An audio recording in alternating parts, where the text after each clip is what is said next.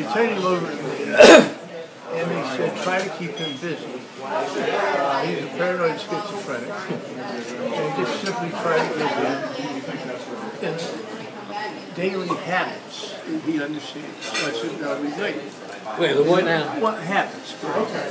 So I said, one of the things we can do is I call all the guys, and I said, you know, Bernie's insane. And if we could take him to lunch uh, every week, I'll make sure he's on his meds.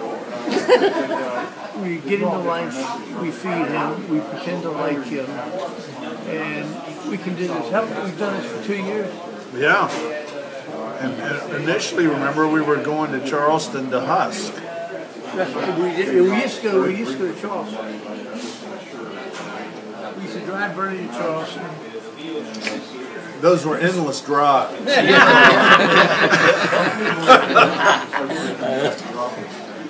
And every once in a while, I asked John to tighten his uh, straitjacket, and he would do it. But we, we started out for Bernie's sake. He was depressed, he was suicidal, uh, and his wife is always hating him.